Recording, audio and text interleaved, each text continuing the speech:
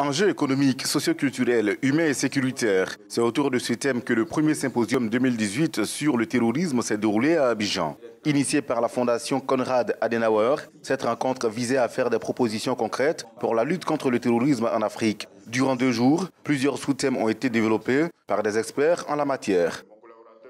On a invité des acteurs, des experts, des professeurs de toute la sous-région pour cet échange, pour ce dialogue qui est euh, énormément euh, nécessaire pour discuter euh, un tel défi comme le terrorisme.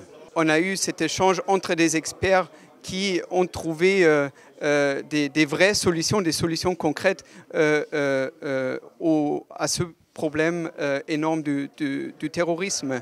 Commençons par le renforcement des capacités économiques des États fragilisés. On a traité les questions des jeunes qui euh, demandent euh, une tâche chaque jour.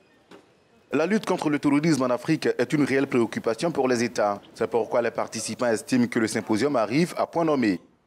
J'ai trouvé que c'est une euh, activité bien réfléchie et avec le soutien certes de Conrad Adenauer, si ces genres d'activités peuvent être reproduites que ce soit au niveau des organisations de la société civile, au niveau de la population, au niveau de la jeunesse, à l'université, ça va calmer un peu cette question de terrorisme que nous constatons.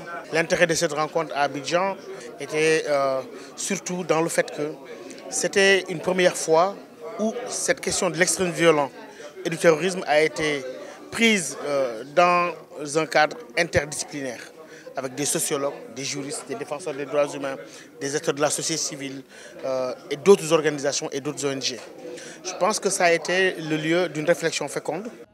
Le terrorisme, il faut le rappeler, constitue une véritable entrave au développement de nombreux pays. Le phénomène a déjà fait des milliers de morts dans le monde entier.